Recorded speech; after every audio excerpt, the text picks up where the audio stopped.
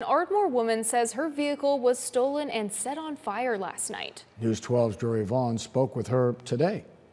Vehicle owner Tiffany Williford says her car was stolen from her property on McLish Street in Ardmore late Wednesday night and was woken by officers who found her vehicle had been burned to the ground just a few miles away on Meadow Drive. There was nothing left of the vehicle. Everything on the inside was melted. Everything. It was devastating. It was absolutely devastating.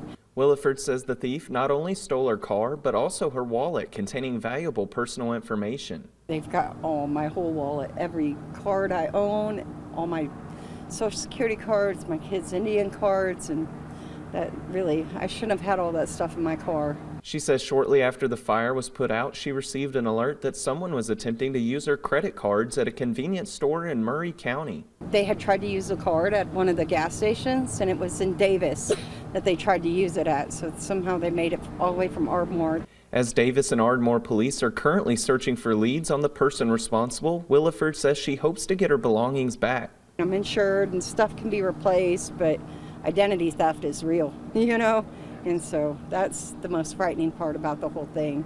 Anyone with any information regarding the incident is urged to contact Davis and Ardmore Police. In Ardmore, Drury Vaughn, News 12.